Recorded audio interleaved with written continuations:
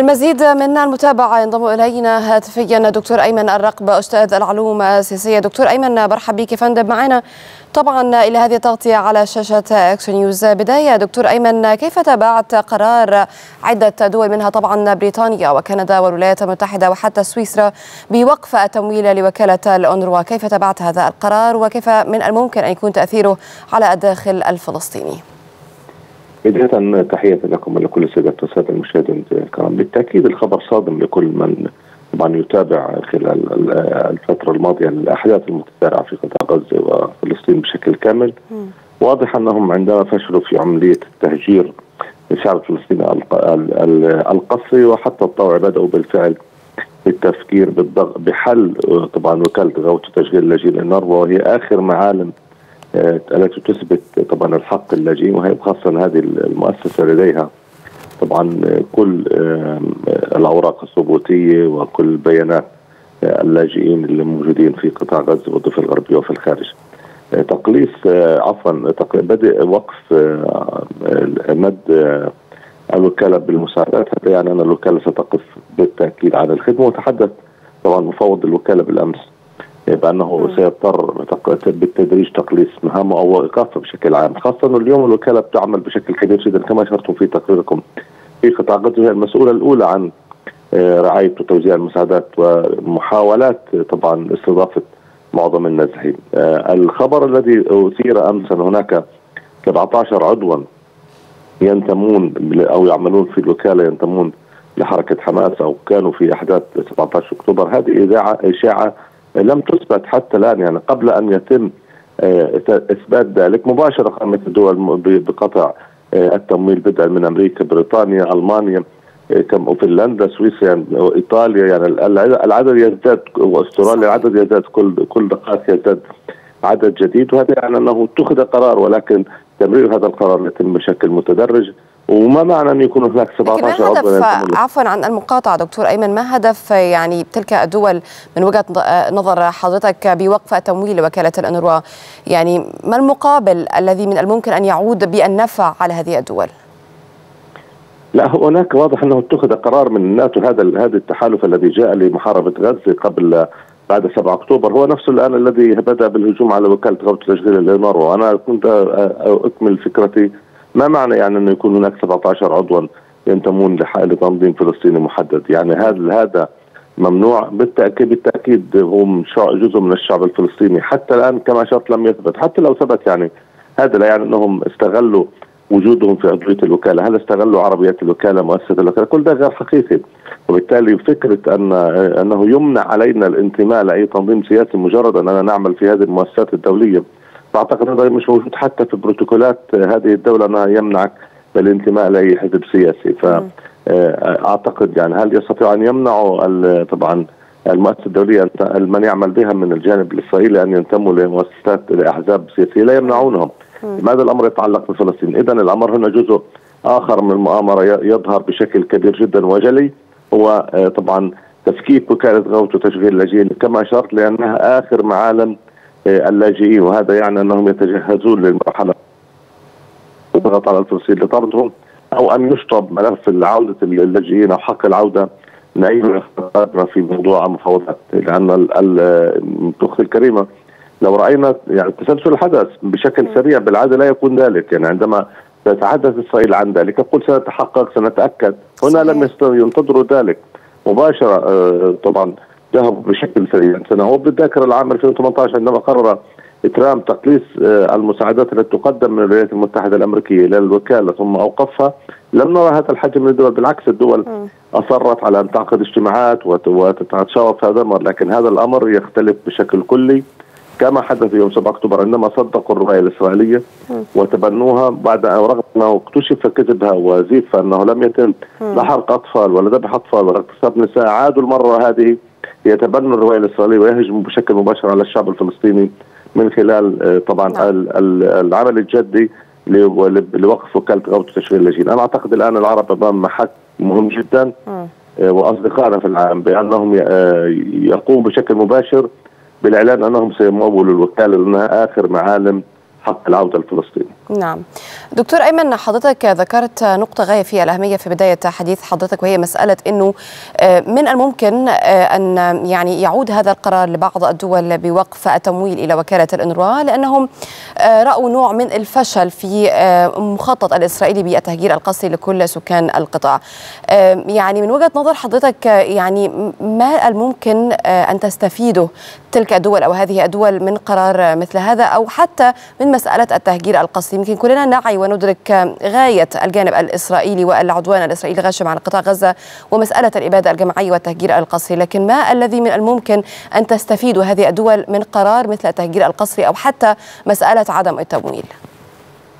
يعني بالتأكيد الغريب كما أشرنا أنه خلال الفترة الماضية فشل الاحتلال في عمليه التهجير القسري والطوعي ثم بدأ الحديث على أن هناك بعض الدول ستدفع بالاتجاه طبعا التهجير طلب من دول كبيرة من ضمن الولايات المتحدة الأمريكية بريطانيا فرنسا إصدار بيانات برفض التهجير القسري وحتى الطوعي وأصدروا بيانات.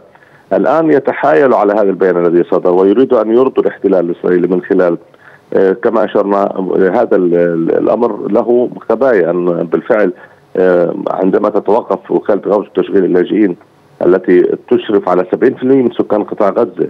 وهم من اللاجئين. هذا يعني أن بشكل كبير جدا الضغط على سكان قطاع غزة. تعد لا صالحه للحياة ولا حتى صالحه لتقديم مساعدات غوث وتشغيل اللاجئين. وبالتالي الضغط عليهم لترك قطاع غزة بشكل طوعي. هذا ما يخطط لهم للأسف الشديد الاحتلال الإسرائيلي وقوى الناتو التي تتحالف معهم تؤيده بشكل أو بآخر وعادوا مرة أخرى لهذا الأمر، الأمر الثاني كما أشرت وكالة غوث وتشغيل اللاجئين آخر معلم من معالم حق العودة. أيضا يريدوا شطبه وبالتالي يتحدثون عن إسقاط حق العودة في المستقبل. لأن لم لنا مؤسسة تدافع عنا بشكل دولي وهذا ما يخطط له هذه المؤسسة التي تأسست عام 49 أقل تقدير هي لترتيبات أوضاع اللاجئين الفلسطينيين واعاده وكان قرار 181 هو لاعاده اللاجئين و194 لإعادة اللاجئين إلى أراضيهم. واليوم بعد نقترب من طبعا 75 عاما تنتهي هذه المؤسسه بقرار دولي من خلال طبعا. يعني عمليا هذا للتبرير لاحقا. نحن علقنا نقطه لكن هو بداية لاقامه بشكل كامل وتنكر للوكالة التي أسست بقرار دولي. الحقيقة دكتور أيمن إنه في بداية هذا العدوان هو بدأ بنوع من القصف الجوي العشوائي على مناطق عديدة في قطاع غزة. ثم أصبح هناك نوع من الغزو المخطط سواء كان على المستوى البحري وحتى المستوى البري من قبل طبعا الجانب الإسرائيلي. استهداف للمباني استهداف للبنية التحتية للمدارس حتى القطاع الطبي أو القطاع الصحي داخل قطاع غزة بعد هذا حتى القرار من وجهة نظرك يعني دكتور أيمن ما, ما الذي تريده إسرائيل في هذا التوقيت بالتحديد وهل كل هذه القرارات من قبل هذه الدول الغربية والدول الأوروبية هي معناها عدم إدانة من قبل هذه الدول لما تقوم به إسرائيل أو حتى الجانب الإسرائيلي وما المتوقع في الأيام القادمة من قبل هذه الدول أيضاً؟ للأسف هذه الدول لم نراها تتحرك عندما قتل الاحتلال 149 ألف 149 موظف من موظفين الوكالة موظفين الاناروا 149 طبعا عامل منها استشهد هذا لم يؤثر على هذه المؤسسات لم ترى أن الاحتلال ارتكب جرائم ضد هذه المؤسسة والعاملين بها. ولكن عندما الاحتلال اتهم أن هناك 17 عضوا ينتمون للتنظيم رأينا هذا الهجوم. واضح أن بالفعل الاحتلال الذي دمر كل البنى التحتية كما أشرت دمر أقل تقدير 50% بشكل كلي و30% بشكل جزئي مباني قطاع غزة. لم تعد هناك لا بنية تحتية ولا مدارس ولا جامعات. هذا يعني الوكالة في المستقبل سيكون عليها حمل كبير جدا في إعادة البناء ولن يكون أيضا المساعدات فقط من هذه الدول يعني هناك إذا تم الإعمار إسرائيل ستدفع في هذا الأمر. ولكن لو ربطنا هذا الأمر كما أشرنا برزمه مؤامرة على شعبنا الفلسطيني الاحتلال لمصلحته الآن إفراغ قطاع غزة بشكل كامل من سكان والضغط عليهم إن لم يكن طبعا قصري. طبعا خاصة اليوم نتحدث عن كتلة سكانية تضغط في منطقة رفح تقدر صحيح. بعد الهجوم على خان يونس إلى أكثر من مليون ونصف نسمه يعني أكثر من أو من 80% من سكان قطاع غزة الآن في منطقة مساحتها 64 كيلو متر مربع. هذا يعني ان الضغط بشكل كبير جدا. إخراج وكالة غوث وتشغيل اللاجئين التي تستلم الآن المساعدات وتقوم بتوزيعها في قطاع غزة. هو طبعا نشر فوضى كبيرة في قطاع غزة وعدم وجود مؤسسة. لأن هذا أيضا يرتبط بما قرر بما خطط له الاحتلال طبعا رفع قيم النزاع الداخلي داخل قطاع غزة، رفع م. فكره قيم فكرة العشائرية المش موجودة أصلا في قطاع غزة ولكن إعادتها إعادة طبعا عندما لا نرى مؤسسة عمليا دوليه تشرف على كل ذلك. فهذا يعني ان أن لم تكن هناك قوة تتمكن من ترتيب أوراقها واستلام الإشراف على المساعدات والاخير هذا يعني فوضى جديدة وهذا ما يخطط له الاحتلال أن يكون هناك رفع قيم الصراع الداخلي الفلسطيني وبالتالي هذه الفوضى تنهي إلى تنهي المشروع الوطني الفلسطيني بشكل عام في قطاع غزة وتزيد تدمير قطاع غزة أكثر ما هو مدمر.